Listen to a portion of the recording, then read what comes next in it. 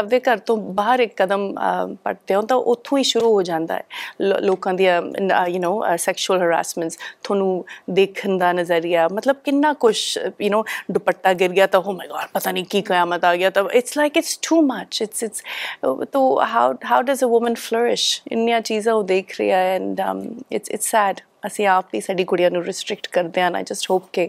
ਇਹ ਸਾਰੀਆਂ ਚੀਜ਼ਾਂ ਮਤਲਬ ਫਿਲਮ ਇੰਡਸਟਰੀ ਕਿੰਨੀਆਂ ਜਦੋਂ ਮੈਂ ਸ਼ੁਰੂ ਕੀਤਾ ਸੀ ਕਿੰਨਿਆਂ ਨੇ ਕਿਹਾ ਕਿ ਫਿਲਮ ਇੰਡਸਟਰੀ ਵਿੱਚ ਆਪਦੀ ਕੁੜੀ ਨੂੰ ਭੇਜ ਰਿਹਾ ਤੈਨੂੰ ਪਤਾ ਫਿਲਮ ਇੰਡਸਟਰੀ ਦੁਆਰੇ ਸੁਣਿਆ ਨਹੀਂ ਕੀ ਕੀ ਹੁੰਦਾ। So it's like we have to change this it's such a beautiful industry so um yeah